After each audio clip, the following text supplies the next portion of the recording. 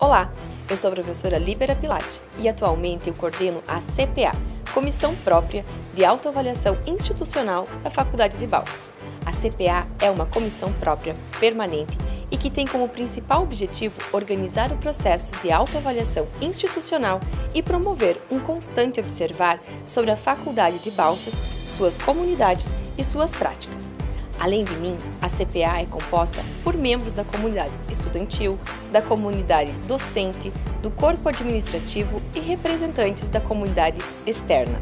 Por meio da CPA e dos questionários que ela aplica, é possível que nós, estudantes, tenhamos a oportunidade de expressar as nossas opiniões a respeito da instituição e ajudar na construção de uma faculdade cada vez melhor.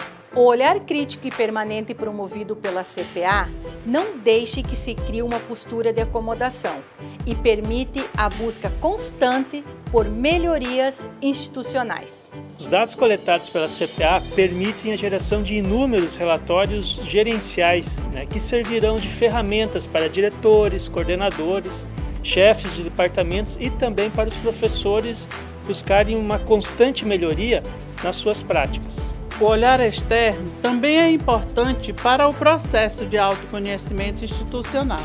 Por isso, a CPA abre espaço para a representação da comunidade externa e desenvolve maneiras de colher informações específicas para as pessoas que não estão vivendo o dia a dia da instituição.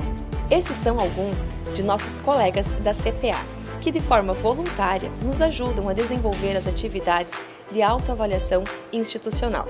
Convido você a fazer parte desse processo, participando dos nossos momentos de autoavaliação promovidos pela CPA, dando sua opinião e dando suas sugestões de melhoria para que possamos construir uma faculdade cada vez melhor.